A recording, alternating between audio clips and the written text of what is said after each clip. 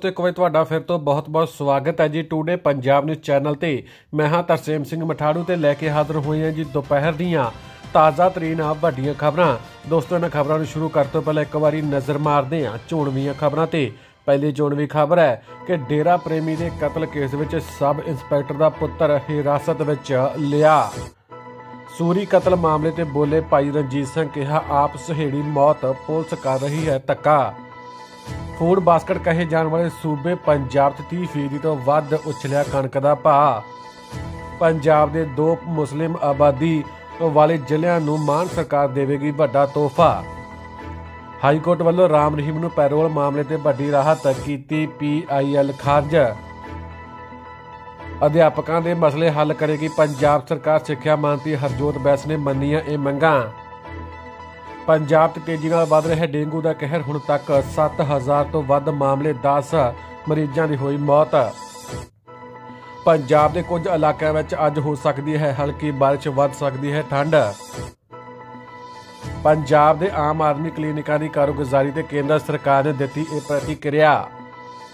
ਨਹੀਂ ਲੱਗਣਗੇ ਸਮਾਰਟ ਬਿਜਲੀ ਮੀਟਰ ਕੇਂਦਰ ਨੇ ਰੋਕਿਆ ਪ੍ਰੋਜੈਕਟ। ਪਨਬਸ ਪੀਆਰਟੀਸੀ ਵੱਲੋਂ ਪੰਜਾਬ ਵਿੱਚ ਚੱਕਾ ਜਾਮ ਯਾਤਰੀ ਹੋਏ ਖੱਜਲ ਖੁਆਰ। ਤਾਂ ਦੋਸਤੋ, ਇਹ ਸੀਗੀਆਂ ਆਪਣੀਆਂ ਇਸ ਵੇਲੇ ਦੀਆਂ ਚੋਣਵੀਆਂ ਖਬਰਾਂ। ਹੁਣ ਗੱਲਬਾਤ ਕਰਦੇ ਹਾਂ ਜੇ ਇਹਨਾਂ ਖਬਰਾਂ ਦੀ ਵਿਸਤਾਰ ਨਾਲ। ਕਿਰਪਾ ਕਰਕੇ ਜਿਹੜੇ ਦੋਸਤ ਮਿੱਤਰ ਚੈਨਲ ਤੇ ਨਵੇਂ ਆਏ ਨੇ ਚੈਨਲ ਨੂੰ ਸਬਸਕ੍ਰਾਈਬ ਕਰਕੇ ਘੰਟੀ ਦਾ ਬਟਨ ਜ਼ਰੂਰ ਦਬ ਲਓ ਤਾਂ ਜੋ ਜਿਹੜੀਆਂ ਅਸੀਂ ਨਵੀਆਂ ਖਬਰਾਂ ਪਾਇਆ ਕਰਾਂਗੇ, ਉਸ ਦੀ ਤੁਹਾਨੂੰ ਨੋਟੀਫਿਕੇਸ਼ਨ ਮਿਲ ਜਾ ਕਰੂਗੀ। ਤਾਂ ਦੋਸਤੋ, ਗੱਲ ਕਰਦੇ ਹਾਂ ਜੀ ਪਹਿਲੀ ਵੱਡੀ ਖਬਰ ਦੀ ਕਿ ਡੇਰਾ ਪ੍ਰੇਮੀ ਦੇ ਕਤਲ ਕੇਸ ਵਿੱਚ ਸਬ ਇੰਸਪੈਕਟਰ ਦਾ ਪੁੱਤਰ ਹਿਰਾਸਤ ਵਿੱਚ ਲਿਆ। ਜੀ ਹਾਂ ਦੋਸਤੋ, ਡੇਰਾ ਪ੍ਰੇਮੀ ਦੇ ਕਤਲ ਕੇਸ ਵਿੱਚ ਸਬ ਇੰਸਪੈਕਟਰ ਦਾ ਪੁੱਤਰ ਹਿਰਾਸਤ ਵਿੱਚ ਲਿਆ। ਡੇਰਾ ਪ੍ਰੇਮੀ ਪ੍ਰਦੀਪ ਸਿੰਘ ਦੇ ਕਤਲ ਕੇਸ ਵਿੱਚ ਪੁਲਿਸ ਨੇ ਬਠਿੰਡਾ ਵਿਖੇ ਤਾਇਨਾਤ ਪੰਜਾਬ ਪੁਲਿਸ ਦੇ ਇੱਕ ਸਬ ਇੰਸਪੈਕਟਰ ਦੇ ਪੁੱਤਰ ਨੂੰ ਹਿਰਾਸਤ ਵਿੱਚ ਲੈ ਲਿਆ ਨਿਊਜ਼ 18 ਦੀ ਰਿਪੋਰਟ ਮੁਤਾਬਕ ਉਸ ਤੇ ਦੋਸ਼ ਹੈ ਕਿ ਕਤਲ ਤੋਂ ਬਾਅਦ ਇਸਨੇ ਸ਼ੂਟਰਾਂ ਦੇ ਠਹਿਰਨ ਦਾ ਇੰਤਜ਼ਾਮ ਕੀਤਾ ਸੀ।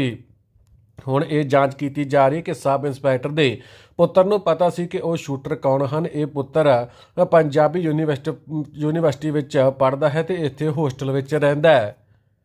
ਸੂਰੀ ਕਤਲ ਮਾਮਲੇ ਤੇ ਬੋਲੇ ਭਾਈ ਰਣਜੀਤ ਸਿੰਘ ਕਿਹਾ, ਆਪ ਸਹੇੜੀ ਮੌਤ ਪੁਲਿਸ ਕਰ ਰਹੀ ਹੈ ਤੱਕਾ ਦਮਦਮੀ ਟਕਸਾਲ ਦੇ ਭਾਈ ਰਣਜੀਤ ਸਿੰਘ ਨੇ ਜਿੱਥੇ ਇਸ ਕਿਤਾਬ ਬਾਰੇ ਜਾਣਕਾਰੀ ਸਾਂਝੀ ਕੀਤੀ, ਉੱਥੇ ਹੀ ਉਹਨਾਂ ਨੇ ਸੁਧੀਰ ਸੂਰੀ ਕਤਲ ਮਾਮਲੇ ਵਿੱਚ ਕਿਹਾ ਕਿ ਗਲਤ ਬਿਆਨਬਾਜ਼ੀ ਕਾਰਨ ਕਰਕੇ ਉਸ ਨੇ ਆਪਣੀ ਮੌਤ ਆਪ ਸਹੇੜੀ ਹੈ। ਹੁਣ ਜੋ ਪੁਲਿਸ ਸੰਦੀਪ ਸਣੀ ਦੇ ਜਾਣਕਾਰਾਂ ਨਾਲ ਧੱਕੇਸ਼ਾਹੀ ਕਰ ਰਹੀ ਹੈ। ਫੂਡ ਬਾਸਕਟ ਕਹੇ ਜਾਣ ਵਾਲੇ ਸੂਬੇ ਪੰਜਾਬ 'ਚ 30% ਤੋਂ ਵੱਧ ਉਛਲਿਆ ਕਣਕ ਦਾ ਭਾਅ।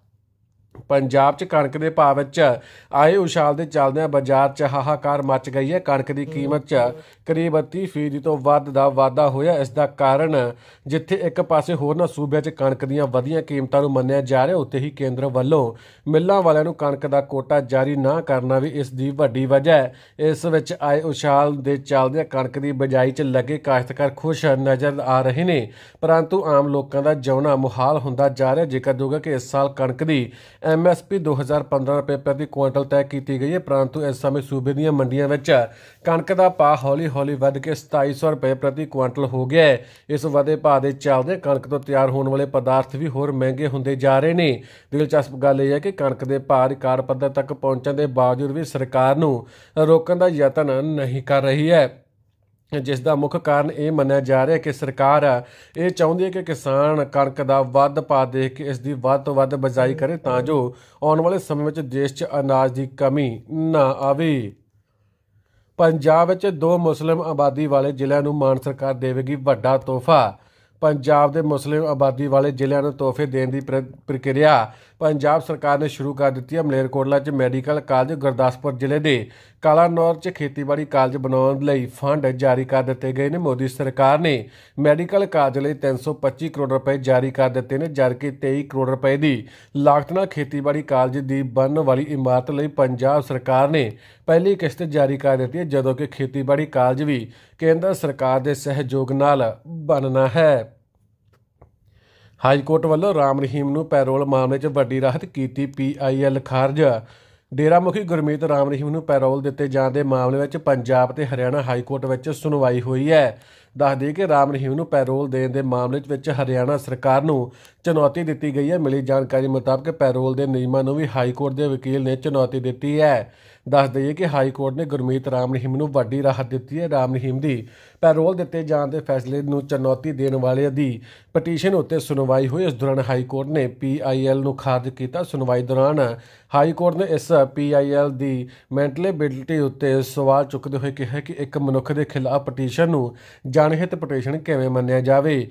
ਹਾਈ ਕੋਰਟ ਨੇ ਹਰਿਆਣਾ ਸਰਕਾਰ ਨੂੰ ਐਸਸੀ ਅਰੋੜਾ ਦੀ ਰਿਪਰੈਜ਼ੈਂਟੇਸ਼ਨ ਨੂੰ ਇੱਕ ਹਫ਼ਤੇ ਵਿੱਚ ਨਿਪਟਾਰਾ ਕਰਨ ਦੇ ਨਿਰਦੇਸ਼ ਦਿੱਤੇ ਨੇ ਅਧਿਆਪਕਾਂ ਦੇ ਮਸਲੇ ਹੱਲ ਕਰੇਗੀ। ਪੰਜਾਬ ਸਰਕਾਰ ਸਿੱਖਿਆ ਮੰਤਰੀ ਹਰਜੋਤ ਬੈਂਸ ਨੇ ਮੰਨੀਆਂ ਇਹ ਮੰਗਾਂ। ਸਾਂਝਾ ਅਧਿਆਪਕ ਮੋਰਚਾ ਪੰਜਾਬ ਦੇ ਕਨਵੀਨਰ ਅਤੇ ਕੋ ਕਨਵੀਨਰਾਂ ਦੀ ਅਗਵਾਈ ਹੇਠ ਅਧਿਆਪਕ ਮਸਲੇ ਬਾਰੇ ਵਫਦ ਦੀ ਪੈਨਲ ਮੀਟਿੰਗ ਸਿੱਖਿਆ ਮੰਤਰੀ ਹਰਜੋਤ ਸਿੰਘ ਬੈਸ ਨਾਲ ਚੰਡੀਗੜ੍ਹ ਸਥਿਤ ਪੰਜਾਬ ਭਵਨ ਵਿੱਚ ਹੋਈ। ਮੀਟਿੰਗ ਵਿੱਚ ਵਫਦ ਨੇ ਸਿੱਖਿਆ ਭਾਗ ਵੱਲੋਂ ਲਗਾਤਾਰ ਲਈਆਂ ਜਾ ਰਹੀਆਂ ਪ੍ਰੀਖਿਆਵਾਂ, ਸੈਮੀਨਾਰ, ਬਾਲ ਦਿਵਸ ਮਨਾਉਣ ਲਈ ਮੌਕੇ ਤੇ ਪੱਤਰ ਜਾਰੀ ਕਰਨ ਅਜਿਹੇ ਕਾਰਜਾਂ ਕਾਰਨ ਵਿਦਿਆਰਥੀਆਂ ਦੀ ਪੜ੍ਹਾਈ ਵਿੱਚ ਵਿਘਨ ਪਾਉਣ ਦਾ ਜ਼ੋਰਦਾਰ ਵਿਰੋਧ ਕੀਤਾ। ਅਧਿਆਪਕ ਦਲ ਪੰਜਾਬ ਦੇ ਪ੍ਰਧਾਨ ਦਾ ਸਾਂਝਾ ਅਧਿਆਪਕ ਮੋਰਚਾ ਤੇ ਕਨਵੀਨਰ ਗੁਰਜੰਟ ਸਿੰਘ ਵੱਲੋਂ ਵਾਲੀਆ ਨੇ ਦੱਸਿਆ ਕਿ ਪੰਜਾਬ ਸਰਕਾਰ ਵੱਲੋਂ ਅਧਿਆਪਕ ਮਸਲੇ ਦਾ ਹੱਲ ਨਾ ਕਰਨ ਦੇ ਰੋਸ ਵਜੋਂ ਸਾਂਝੇ ਅਧਿਆਪਕ ਮੋਰਚੇ ਨੇ 13 ਨਵੰਬਰ ਨੂੰ ਆਨੰਦਪੁਰ ਸਾਹਿਬ ਤੋਂ ਸਿੱਖਿਆ ਮੰਤਰੀ ਦੇ ਘਰ ਤੱਕ ਚੇਤਾਵਨੀ ਮਾਰਚ ਦਾ ਐਲਾਨ ਕੀਤਾ ਸੀ, ਪਰ ਉਸ ਤੋਂ ਪਹਿਲਾਂ ਹੀ ਪੈਨਲ ਮੀਟਿੰਗ ਦਾ ਸਮਾਂ ਮਿਲ ਗਿਆ। ਉਹਨਾਂ ਦੱਸਿਆ ਕਿ ਮਿਲੇ ਸਮੇਂ ਤਹਿਤ ਮੀਟਿੰਗ ਵਿੱਚ ਮੰਗ ਪੱਤਰ ਸਮੇਤ ਪੁਰਾਣੀ ਪੈਨਸ਼ਨ ਦੀ ਬਹਾਲੀ ਸਾਰੇ ਵਰਗਾਂ ਦੇ ਕੱਚੇ ਅਧਿਆਪਕ ਪੱਕੇ ਕਰਨ, ਕੰਪਿਊਟਰ ਅਧਿਆਪਕਾਂ ਦੀ ਸਿੱਖਿਆ ਵਿਭਾਗਾਂ ਵਿੱਚ ਰਲੇਵਾਂ ਕਰਨ, ਮੈਰੀਟੋਰੀਅਸ ਅਤੇ ਆਦਰਸ਼ ਸਕੂਲਾਂ ਦੇ ਅਧਿਆਪਕਾਂ ਨੂੰ ਪੱਕੇ ਕਰਨ ਲੈਕਚਰਾਰਾਂ ਦੀ ਪਦ 29 ਤੇ ਸਟੇ ਦੀ ਸ਼ਰਤ ਖਤਮ। ਅਧਿਆਪਕ ਤਬਾਦਲਾ ਨੀਤੀ ਵਿੱਚ ਕਰੋਨਿਕ ਬਿਮਾਰੀਆਂ ਨਾਲ ਪੀੜਤ ਅਧਿਆਪਕਾਂ ਲਈ ਹਰ ਮਹੀਨੇ ਦੇ ਆਖਰੀ ਹਫ਼ਤੇ ਪੋਰਟਲ ਖੋਲ੍ਹਣ ਦਾ ਭਰੋਸਾ ਦਿੱਤਾ ਗਿਆ ਹੈ। ਪੰਜਾਬ ਵਿੱਚ ਤੇਜ਼ੀ ਨਾਲ ਵੱਧ ਰਿਹਾ ਡੇਂਗੂ ਦਾ ਕਹਿਰ। ਹੁਣ ਤੱਕ 7000 ਤੋਂ ਵੱਧ ਮਾਮਲੇ 10 ਮਰੀਜ਼ਾਂ ਦੀ ਹੋਈ ਮੌਤ। ਸਾਦੀ ਰੁੱਤ ਸ਼ੁਰੂ ਹੁੰਦਿਆਂ ਹੀ ਡੇਂਗੂ ਨੇ ਵੀ ਪੰਜਾਬ ਵਿੱਚ ਪੈਰ ਪਸਾਰਨੇ ਸ਼ੁਰੂ ਕਰ ਦਿੱਤੇ ਨੇ। ਜਿਵੇਂ ਜਿਵੇਂ ਠੰਡ ਵਧ ਰਹੀ ਹੈ, ਡੇਂਗੂ ਮੱਛਰਾਂ ਦਾ ਕਹਿਰ ਵੀ ਲਗਾਤਾਰ ਵਧ ਰਿਹਾ ਹੈ। ਹੁਣ ਤੱਕ ਪੂਰੇ ਸੂਬੇ ਵਿੱਚ ਲਗਭਗ 7000 ਤੋਂ ਵੱਧ ਮਾਮਲੇ ਸਾਹਮਣੇ ਆਉਣ ਬਾਰੇ ਜਾਣਕਾਰੀ ਮਿਲੀ ਹੈ, ਜਦਕਿ 10 ਲੋਕਾਂ ਨੂੰ ਡੇਂਗੂ ਨੇ ਆਪਣੀ ਲਪੇਟ ਵਿੱਚ ਲੈ ਕੇ ਸਦਾ ਦੀ ਨੀਂਦ ਸੁਲਾ ਦਿੱਤਾ ਹੈ। ਹਸਪਤਾਲਾਂ ਵਿੱਚ ਡੇਂਗੂ ਅਤੇ ਤੇਜ਼ ਬੁਖਾਰ ਦੀਆਂ ਸ਼ਿਕਾਇਤਾਂ ਤੇਜ਼ੀ ਨਾਲ ਆ ਰਹੀਆਂ ਨੇ। ਜਾਣਕਾਰੀ ਅਨੁਸਾਰ ਹੁਣ ਤੱਕ ਸੂਬੇ ਵਿੱਚ ਡੇਂਗੂ ਦੇ ਕੁੱਲ 45000 ਤੋਂ ਵੱਧ ਮਾਮਲੇ ਸਾਹਮਣੇ ਆਏ ਨੇ, ਜਿਨ੍ਹਾਂ ਵਿੱਚੋਂ 7000 ਤੋਂ ਵੱਧ ਲੋਕ ਡੇਂਗੂ ਪੀੜਤ ਪਾਏ ਗਏ ਨੇ। ਪੰਜਾਬ 'ਚ ਇਸ ਸਮੇਂ 10 ਨਵੰਬਰ ਤੱਕ ਡੇਂਗੂ ਮਾਮਲਿਆਂ ਦੀ ਦਰ 18% ਤੋਂ ਵੱਧ ਦਰਜ ਕੀਤੀ ਗਈ ਹੈ, ਜਿਸ ਵਿੱਚ 8 ਜ਼ਿਲ੍ਹਿਆਂ ਦੀ ਦਰ ਕੁੱਲ ਨਾਲੋਂ ਵੀ ਕਿਤੇ ਵੱਧ ਹੈ। ਮੋਹਾਲੀ ਜ਼ਿਲ੍ਹੇ ਵਿੱਚ ਲਗਭਗ 1400 ਮਾਮਲਿਆਂ ਨਾਲ ਰੋਪੜ ਵਿੱਚ 73 ਮਾਮਲੇ, ਪਠਾਨਕੋਟ ਵਿੱਚ 700 ਮਾਮਲੇ, ਫਤਿਹਗੜ੍ਹ ਸਾਹਿਬ ਵਿੱਚ ਲਗਭਗ 600 ਮਾਮਲੇ ਪਿਛਲੇ ਮਹੀਨੇ ਦੌਰਾਨ ਸਾਹਮਣੇ ਆਏ ਨੇ। ਪੰਜਾਬ ਦੇ ਕੁਝ ਇਲਾਕਿਆਂ ਵਿੱਚ ਅੱਜ ਹੋ ਸਕਦੀ ਹੈ ਹਲਕੀ ਬਾਰਿਸ਼, ਵੱਧ ਸਕਦੀ ਹੈ ਠੰਡ। ਅੱਧਾ ਨਵੰਬਰ ਬੀਤ ਚੁੱਕਾ ਹੈ, ਪਰ ਅਜੇ ਤੱਕ ਸਰਦੀ ਦਾ ਕੋਈ ਖਾਸ ਅਸਰ ਨਜ਼ਰ ਨਹੀਂ ਆ ਰਿਹਾ। ਹਾਲਾਂਕਿ ਸਵੇਰ ਅਤੇ ਸ਼ਾਮ ਨੂੰ ਹਲਕੀ ਠੰਡ ਮਹਿਸੂਸ ਹੁੰਦੀ ਹੈ। ਇਸ ਦੇ ਨਾਲ ਹੀ ਰਾਜਧਾਨੀ ਦਿੱਲੀ ਵਿੱਚ ਪ੍ਰਦੂਸ਼ਣ ਕਾਰਨ ਲੋਕਾਂ ਦੀ ਹਾਲਤ ਤਰਸਯੋਗ ਬਣੀ ਹੋਈ ਹੈ। ਜਿਹੇ ਵਿੱਚ ਭਾਰਤੀ ਮੌਸਮ ਵਿਭਾਗ ਵੱਲੋਂ ਕਿਹਾ ਗਿਆ ਕਿ ਇਸ ਹਫ਼ਤੇ ਵੀ ਤਾਪਮਾਨ ਵਿੱਚ ਕੋਈ ਖਾਸ ਬਦਲਾਅ ਨਹੀਂ ਹੋਵੇਗਾ।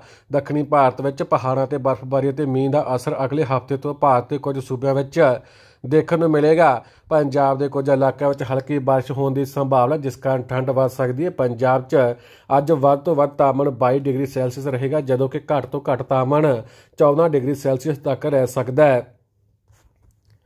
ਅਹਿਮ ਖਬਰ, ਪੰਜਾਬ ਦੇ ਆਮ ਆਦਮੀ ਕਲੀਨਿਕਾਂ ਦੀ ਕਾਰਗੁਜ਼ਾਰੀ ਤੇ ਕੇਂਦਰ ਸਰਕਾਰ ਨੇ ਦਿੱਤੀ ਇਹ ਪ੍ਰਤੀਕਿਰਿਆ। ਭਾਰਤ ਸਰਕਾਰ ਨੇ ਮੁੱਖ ਮੰਤਰੀ ਭਗਵੰਤ ਮਾਨ ਦੀ ਅਗਵਾਈ ਵਾਲੀ ਸੂਬਾ ਸਰਕਾਰ ਵੱਲੋਂ ਲੋਕਾਂ ਨੂੰ ਮਿਆਰੀ ਸਿਹਤ ਸਹੂਲਤਾਂ ਪ੍ਰਦਾਨ ਕਰਨ ਦੀ ਦਿਸ਼ਾ 'ਚ ਕਈ ਪਹਿਲ ਕਦਮੀਆਂ ਕਰਨ ਲਈ ਪੰਜਾਬ ਸਰਕਾਰ ਦੀ ਸ਼ਲਾਘਾ ਕੀਤੀ। ਭਾਰਤ ਸਰਕਾਰ ਨਿਯਮਤ ਤੌਰ ਤੇ ਵੱਖ-ਵੱਖ ਵਿਧੀਆਂ ਰਾਹੀਂ ਸੂਬਿਆਂ 'ਚ ਐਨਐਚਐਮ ਦੀ ਪ੍ਰਗਤੀ ਦੀ ਨਿਗਰਾਨੀ ਕਰਦੀ ਹੈ। ਸਭ ਤੋਂ ਮਹੱਤਵਪੂਰਨ ਵਿਧੀ ਹੈ ਕਾਮਨ ਰਿਵਿਊ ਮਿਸ਼ਨ ਜੋ ਹਰ ਸਾਲ ਕੀਤੀ ਜਾਂਦੀ ਹੈ। ਸੀਆਰਐਮ ਦੇ ਤਹਿਤ ਸਰਕਾਰੀ ਅਧਿਕਾਰੀਆਂ ਜਨਹਿਤ ਜਨ ਸਿਹਤ ਮਹਾਰਾ ਵਿਕਾਸ ਭਾਈਵਾਲਾਂ ਦੇ ਪ੍ਰਤੀਨਿਧਾਂ ਅਤੇ ਸਿਵਲ ਸੁਸਾਇਟੀ ਸੰਸਥਾਵਾਂ ਦੀ ਇੱਕ ਟੀਮ ਵੱਖ-ਵੱਖ ਸੂਬਿਆਂ 'ਚ ਖੇਤਰੀ ਦੌਰਾ ਕਰਦੀ ਹੈ। ਸੀਆਰਐਮ ਦਾ ਉਦੇਸ਼ ਲੋਕਾਂ ਦੇ ਨਜ਼ਰੀਏ ਤੋਂ ਪ੍ਰੋਗਰਾਮਾਂ ਨੂੰ ਲਾਗੂ ਕਰਨ ਦਾ ਮੁਲਾਂਕਣ ਕਰਨਾ ਹੈ। ਨਹੀਂ ਲੱਗਣਗੇ ਸਮਾਰਟ ਬਿਜਲੀ ਮੀਟਰ ਕੇਂਦਰ ਨੇ ਰੋਕਿਆ ਪ੍ਰੋਜੈਕਟ।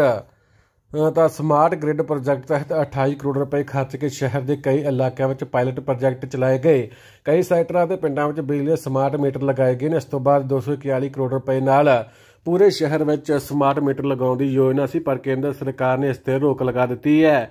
ਪਾਇਲਟ ਪ੍ਰੋਜੈਕਟ ਨੂੰ ਪੂਰਾ ਕਰਨ ਤੋਂ ਬਾਅਦ ਯੂਟੀ ਪ੍ਰਸ਼ਾਸਨ ਨੇ ਪੂਰੇ ਸ਼ਹਿਰ ਵਿੱਚ ਸਮਾਰਟ ਬਿਜਲੀ ਮੀਟਰ ਲਗਾਉਣ ਲਈ ਕੇਂਦਰ ਸਰਕਾਰ ਨੂੰ ਫਾਈਲ ਭੇਜੀ ਸੀ ਇਸ ਦੇ ਜਵਾਬ ਵਿੱਚ ਪ੍ਰਸ਼ਾਸਨ ਵੱਲੋਂ ਇਸ ਸਕੀਮ ਤੇ ਅੱਗੇ ਕੰਮ ਨਾ ਕਰਨ ਦੀ ਗੱਲ ਆਖੀ ਗਈ ਹੈ।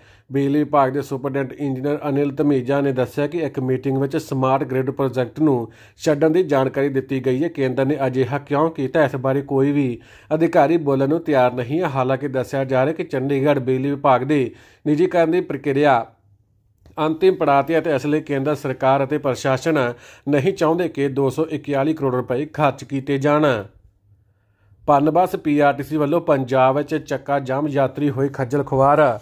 ਜ਼ਿਲ੍ਹੇ ਵਿੱਚ ਪਿਛਲੇ 5 ਦਿਨਾਂ ਤੋਂ ਪਨਬਸ ਪੀਆਰਟੀਸੀ ਵੱਲੋਂ ਪੰਜਾਬ ਵਿੱਚ ਚੱਕਾ ਜਾਮ ਕੀਤਾ ਗਿਆ ਹੈ। ਕੱਚੇ ਮੁਲਾਜ਼ਮਾਂ ਦਾ ਪੰਜਾਬ ਸਰਕਾਰ ਦੇ ਖਿਲਾਫ ਧਰਨਾ ਲਗਾਤਾਰ ਜਾਰੀ ਹੈ। ਦੱਸਦੇ ਕਿ ਪਨਬਸ ਦੇ ਆਗੂਆਂ ਦੇ ਨਾਲ ਪੰਜਾਬ ਵਧੀਕ ਮੁੱਖ ਸਕੱਤਰ ਹਿਮਾਂਸ਼ੂ ਜੈਨ ਦੇ ਨਾਲ ਮੀਟਿੰਗ ਹੈ ਤੇ 24 ਨਵੰਬਰ ਨੂੰ ਟਰਾਂਸਪੋਰਟ ਮੰਤਰੀ ਪੰਜਾਬ ਨਾਲ ਵੀ ਮੀਟਿੰਗ ਤੈਅ ਹੋਈ ਹੈ, ਪਰ ਪਨਬਸ ਪੀਆਰਟੀਸੀ ਦੇ ਕੱਚੇ ਮੁਲਾਜ਼ਮਾਂ ਵੱਲੋਂ ਧਰਨਾ ਲਗਾਤਾਰ ਜਾਰੀ ਹੈ। ਦੱਸਦੇ ਕਿ ਸਰਕਾਰੀ ਬੱਸਾਂ ਪੂਰਨ ਤੌਰ ਤੇ ਬੰਦ ਹਨ, ਜਿਸ ਦੇ ਚੱਲਦੇ ਲੁਧਿਆਣਾ ਬੱਸ ਅੱਡੇ ਪਹੁੰਚੇ ਯਾਤਰੀਆਂ ਨੇ ਕਿਹਾ ਕਿ ਉਹਨਾਂ ਨੂੰ ਕਾਫੀ ਖੱਜਲ ਖੁਆਰੀ ਹੋ ਰਹੀ ਹੈ। ਦਰਅਸਲ ਬੀਤੇ ਲੰਮੇ ਸਮੇਂ ਤੋਂ ਪੀਆਰਟੀਸੀ ਤੇ ਅਤੇ ਪੰਜਾਬ ਰੋਡਵੇਜ਼ ਦੇ ਕੱਚੇ ਮੁਲਾਜ਼ਮਾਂ ਆਪਣੇ ਹੱਕੀ ਮੰਗਾਂ ਨੂੰ ਲੈ ਕੇ ਅਤੇ ਇੱਕ ਕੰਡਕਟਰ ਤੇ ਕੀਤੀ ਗਈ ਕਾਰਵਾਈ ਨੂੰ ਲੈ ਕੇ ਕਾਫੀ ਰੋਸ ਜਤਾਇਆ ਜਾ ਰਿਹਾ ਤੇ ਇਸ ਨੂੰ ਲੈ ਕੇ ਪੂਰੇ ਪੰਜਾਬ ਦੇ ਲਗਭਗ ਸਾਰੇ ਹੀ ਪਨਬਸ ਅਤੇ ਪੀਆਰਟੀਸੀ ਦੇ ਅੱਡਿਆਂ ਨੂੰ ਬੰਦ ਕੀਤਾ ਹੋਇਆ ਜਿਸ ਕਰਕੇ ਆਮ ਲੋਕਾਂ ਨੂੰ ਕਾਫੀ ਮੁਸ਼ਕਲਾਂ ਦਾ ਸਾਹਮਣਾ ਕਰਨਾ ਪੈ ਰਿਹਾ ਹੈ। ਤਾਂ ਦੋਸਤੋ, ਇਹ ਸੀਗੀਆਂ ਆਪਣੀਆਂ ਅੱਜ ਦੁਪਹਿਰ ਦੀਆਂ ਤਾਜ਼ਾ ਤਰੀਨ ਵੱਡੀਆਂ ਖਬਰਾਂ। ਦੋਸਤੋ, ਜੇ ਸਾਡੇ ਦੁਆਰਾ ਦਿੱਤੀ ਗਈ ਜਾਣਕਾਰੀ ਤੁਹਾਨੂੰ ਵਧੀਆ ਲੱਗੀ ਹੈ ਤਾਂ ਜਾਣਕਾਰੀ ਨੂੰ ਵੱਧ ਤੋਂ ਵੱਧ ਲਾਈਕ, ਕਮੈਂਟ, ਸ਼ੇਅਰ ਜ਼ਰੂਰ ਕਰਨਾ ਤੇ ਦੋਸਤੋ, ਅਸੀਂ ਮਿਲਦੇ ਹਾਂ ਅਗਲੇ ਦਿਨ ਦੀਆਂ ਨਵੀਆਂ ਤੇ ਤਾਜ਼ਾ ਖਬਰਾਂ ਨਾਲ। ਹੁੰਦ ਲਈ ਇੰਨਾ ਹੀ। ਧੰਨਵਾਦ ਸਤਿ ਸ਼੍ਰੀ ਅਕਾਲ।